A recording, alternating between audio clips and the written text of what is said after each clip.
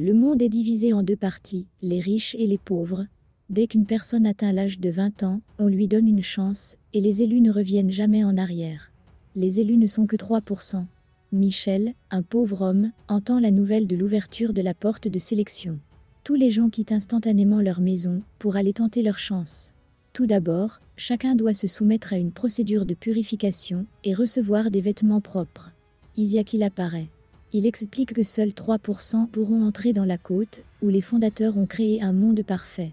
Il n'y a pas d'injustice ici, car tout le monde a les mêmes droits.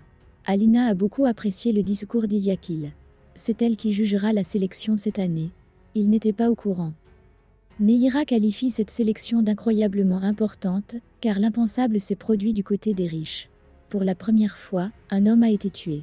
Isiakil assume l'entière responsabilité de ceux qui atteignent la côte. Neira demande de faire attention, car il y a beaucoup de gens qui veulent mettre tous les malheurs sur le dos d'Ézéchiel. Maintenant, Matteux et ses intercesseurs ont un avantage. S'il s'en sort bien, ces hommes mineront le processus de sélection. En ce moment, les gens sont interviewés et on leur pose beaucoup de questions de toutes sortes. Certains deviennent très anxieux, ce qui leur vaut d'être renvoyés dès le deuxième point. Michel est à la recherche de la personne qu'elle préfère et dont elle pense qu'elle a passé le processus de sélection et qu'elle se trouve déjà sur la côte. La police réussit à attraper le bandit. Il est membre d'une organisation appelée Target qui s'oppose à l'ordre mondial existant. Selon lui, il y a un espion parmi les candidats. Dans la file d'attente, Jonas a vu un type avec une drôle d'oreille. C'est le signe d'une fausse inscription. L'homme fait semblant de ne pas savoir de quoi elle parle. À sa grande surprise, Raphaël réussit le test. Le test suivant évalue la logique spatiale. En trois minutes, ils doivent assembler le plus grand nombre possible de cubes. Ils doivent assembler au moins 9 pièces sous peine d'être expulsés. Alors que le temps est presque écoulé, Raphaël vole un cube à son voisin, ce qui lui vaut d'être expulsé. Michel n'a pas pu rassembler 9 cubes, mais seulement 8. Mais Fernando s'avère être un homme gentil et réalise que sur 8 cubes, on peut en ramasser un gros. Elle aurait donc un gros cube et 8 petits cubes, soit un total de 9. Ce qui signifie qu'elle réussira. À la fin du deuxième défi, tout le monde a droit à un déjeuner. Aucun d'entre eux n'avait jamais vu un tel plat, et encore moins cru qu'il pouvait être aussi délicieux. La sécurité a appris qu'un espion vivait dans l'un des blocs. Michel et Bruno y habitent également. Ils sont donc amenés dans le bureau de Cassia. Ils ont trois minutes pour tout avouer, sinon, selon le protocole, ils seront tous les deux détruits. Naturellement, ils nient tout. Les filles envisagent un plan d'évasion, mais Michel se retrouve dans le groupe Target. Elle n'a jamais eu de petite amie et toute l'histoire a été inventée et lui a été racontée par un pendentif pour une interview. Lui était son frère, et elle est sûre qu'Iziki l'a tué. Bruna est devenue par coïncidence un mécanisme dans leur jeu, ce qui lui a valu d'être tuée. Désormais, Michel ne se méfie plus de personne et retourne auprès des autres sujets de test. Le nouveau test porte sur la condition physique. Fernando est enthousiaste, car il est handicapé. L'ordinateur passe au rouge et Fernando est emmené. Ils vont faire un test complet et lui rendre la sensibilité de ses jambes. Certes, l'effet ne durera que quelques minutes, mais avec le traitement adéquat, il retrouvera sa mobilité. Toutefois, il devra se soumettre à un processus de sélection complet. Les candidats sont conduits dans une salle où ils doivent découvrir ce qui est arrivé à la femme en bleu. Chaque poupée porte une cicatrice de vaccin, ce qui signifie qu'elle date de l'époque antebellum. Fernando est convaincu qu'elle a été empoisonnée par sa propriétaire. Deux couples sont assis à table, l'hôte et l'invité. Cela est indiqué par des bagues et des coutumes.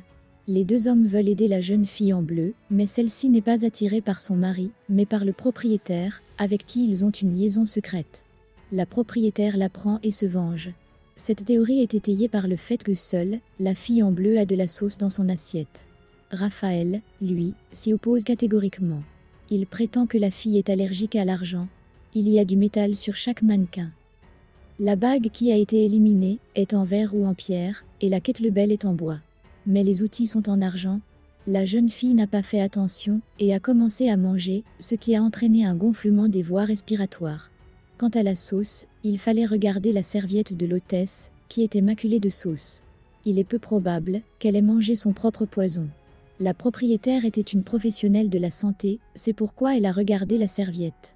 La réponse était correcte. Théo n'a pas cherché à résoudre le mystère, il a simplement attendu la solution, ce qui lui a valu d'être mis à la porte.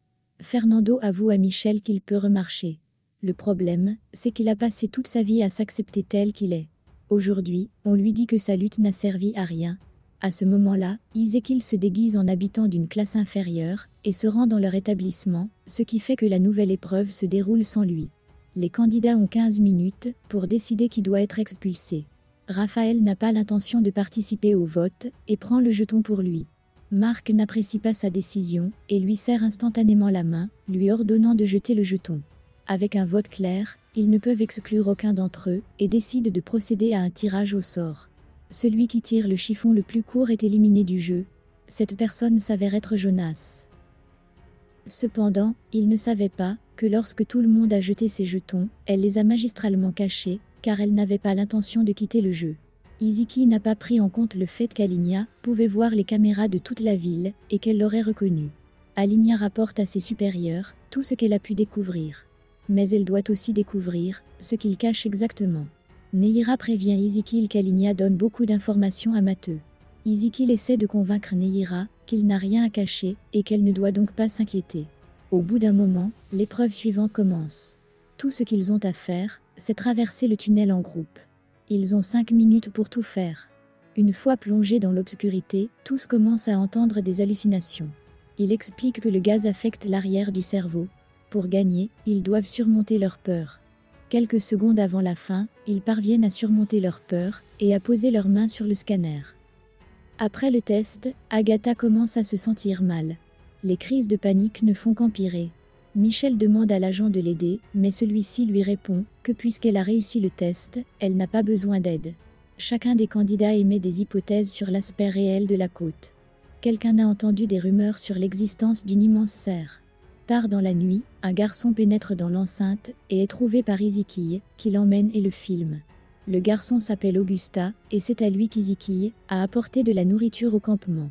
Il explique qu'ils sont surveillés et qu'ils ne peuvent plus se voir comme avant. Johan a fait beaucoup de mauvaises choses dans le passé, elle a même tué un homme. Pour effacer son identité, elle est allée voir un médecin qu'elle connaissait et qui a pu changer sa puce de personnalité. C'est pourquoi elle s'est rendue compte que Raphaël avait également modifié la puce. Au cours d'une conversation privée, Raphaël remarque la cicatrice et se rend compte qu'elle aussi garde des secrets. Alenia frappe à la porte de la chambre d'Iziki. Il cache immédiatement le gars et laisse entrer la fille. Elle remarque rapidement deux assiettes. Elle se dirige tranquillement vers le fond de la pièce. Et pour qu'elle s'arrête, il lui avoue qu'il sait pourquoi elle est venue la voir. Après avoir discuté, elle s'en va. Connaissant le complexe sur le bout des doigts, Ezekiel raccompagne le garçon et lui demande de ne jamais venir ici, car c'est très dangereux. Une nouvelle journée s'annonce. Jonas atteint une porte qui n'existait pas auparavant. Toutes les issues sont bloquées, il essaie de pousser la porte en vain. Il n'y a pas non plus de nourriture. Dans la pièce principale, il y a un dispositif avec sept leviers. Marcu compte les appareils. Les chiffres correspondent au nombre de leviers dans toutes les pièces. Un groupe de 8 mémorisateurs est nécessaire. Chacun doit mémoriser sa ligne et se rendre dans la bonne salle. Les mémorisateurs devront actionner les leviers. 0 en haut, 1 en bas. Tout cela doit pouvoir se faire avant que les nouveaux numéros n'apparaissent à l'écran. Dès leur première tentative, ils ont eu le matériel nécessaire. Même s'ils s'attendaient à ce que la porte s'ouvre. Il n'y a pas assez de nourriture pour tout le monde et, après une discussion, ils décident de répartir la nourriture par ordre alphabétique. Après dix tentatives, la patience commence à s'épuiser. Marc leur propose de continuer leur chemin en précisant que cela risque d'être un défi. Ils décident de se séparer et de se reposer. Les autres personnes ne veulent pas participer à l'expérience et attendent que les choses se passent d'elles-mêmes. C'est la goutte d'eau qui a fait déborder le vase et Marcu a changé. Il a commencé à leur retirer leur nourriture parce qu'il ne voulait pas essayer de réussir le test. Raphaël n'aime pas la méthode de Marcu. Johanna se dit que si elle grimpe le tuyau jusqu'au sommet, Iziki l'attendra. Il explique que ce test est un travail d'équipe. Marco devient complètement fou. Il s'est élevé au rang de roi, à qui tout le monde doit obéir, et frappe une fille qui essayait de cacher de la nourriture. Raphaël veut faire passer le message qu'ils ont perdu la tête et qu'ils doivent arrêter, mais Marc ne lui laisse que quelques secondes pour s'enfuir. Après tout, il sera le prochain. Raphaël tente de se cacher dans la base de Michel, et, pour qu'elle le laisse entrer, il lui chuchote quelque chose à l'oreille, et elle le laisse immédiatement entrer. Iziki lui raconte que les fondateurs de l'entreprise étaient issus des plus basses couches de la société. Mais ils ont utilisé leur cerveau et sont devenus les personnes les plus influentes. Elle a le choix, profiter d'un délicieux repas et s'envoler ou affronter les épreuves en prouvant qu'elle est digne de plus. Elle devra retourner au bas de l'échelle. C'est alors que la bande de Marco fait son apparition. Et quand Jonas convainc tout le monde de s'arrêter, les portes s'ouvrent. Marco s'est réveillé trop tard et n'a pas réussi à quitter l'enceinte à temps. Plus exactement, seule la moitié de son corps est sortie à temps. Aligna veut mettre en place un Izikiye et scanne les empreintes digitales des inconnus. La chance n'est pas de son côté et les gardes la repèrent. Mate tire d'affaire. Elle doit accomplir sa mission le plus rapidement possible. À ce stade, il ne reste plus que 9% des candidats. Aligna parvient à déterminer à qui appartiennent les empreintes et demande qui est le garçon.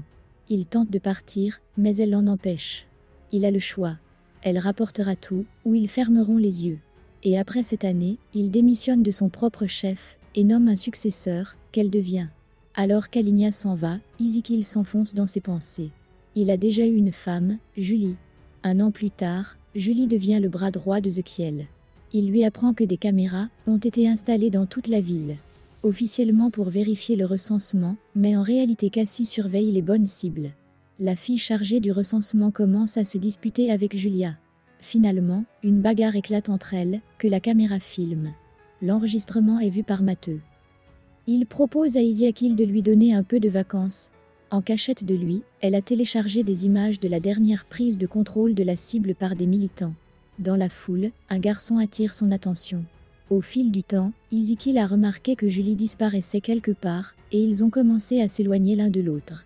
Il s'est intéressé à ce que Julie regardait constamment et a trouvé une vidéo du garçon qu'il a regardé 127 fois. Un nouveau jour arrive. Iziki demande à parler de ce qui la préoccupe. Et si elle refuse de s'ouvrir, il devra aller à l'hôpital. Elle avoue qu'elle a un fils. Il était avant la sélection, et c'est lui que l'on voit dans la vidéo. Izikil ne s'attendait manifestement pas à cette réponse, car son questionnaire était vide. Le garçon s'appelle Augusta, elle veut le revoir, ce à quoi il répond que le moment viendra et qu'il réussira le test. Mais elle ne veut pas attendre. Elle s'enfuit du camp pour voir son fils en personne. Mais au dernier moment, elle est rattrapée par Iziki, qui prend la seule bonne décision, livrer Julia au médecin. Malheureusement, sa femme s'autodétruit. Après cela, il commence à aider Auguste.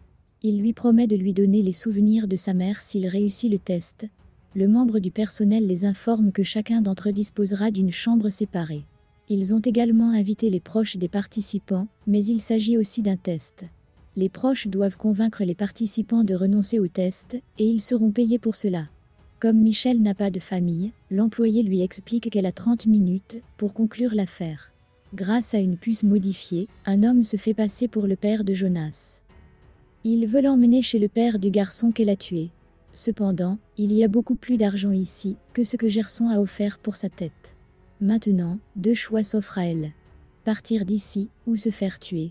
Un combat s'engage, l'homme gagne rapidement et admet qu'elle a réussi. C'était un test. Ezekiel l'a envoyé ici. Ils connaissent son vrai test.